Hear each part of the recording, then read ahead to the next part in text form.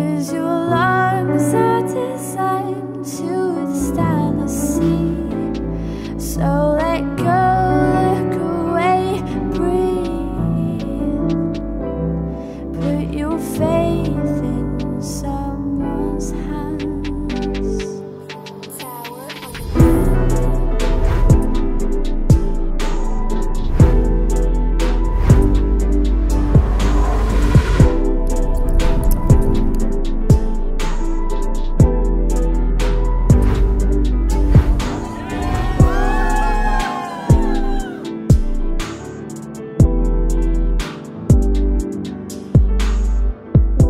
Ciarie, are you willing to love Lance as your husband? Do you like the sound of that?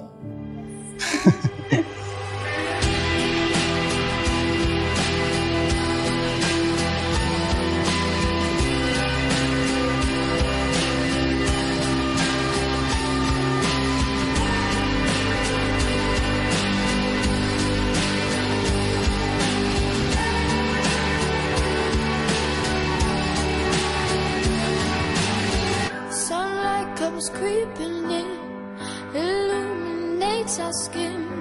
We watch the day go by. Stories Lance? of what we did. People ask me what my dream wedding is. It made me think of you. Sorry.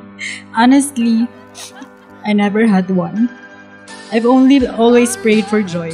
Joy in simplicity, joy in tears, and joy in love. I promise to keep myself open to you, to let you into my innermost fears and feelings, secrets and dreams. I promise to grow along with you, to be willing to face change as we change.